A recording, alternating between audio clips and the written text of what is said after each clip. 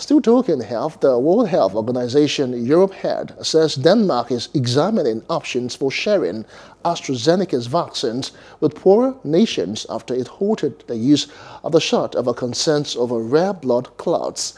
This week, Denmark became the fourth country to stop using AstraZeneca's COVID 19 vaccine altogether as European officials continue to investigate dozens of reports of very rare blood clots combined with low platelet counts that have arisen in the bloc as well as Britain.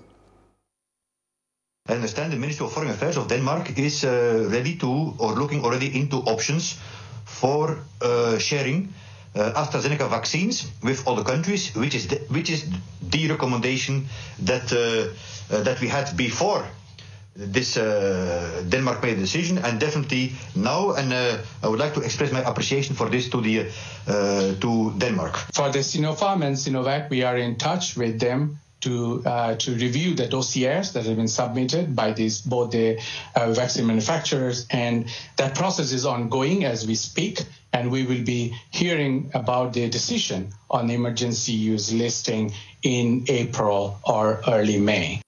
Hello. Hope you enjoyed the news. Please do subscribe to our YouTube channel and don't forget to hit the notification button so you get notified about fresh news updates.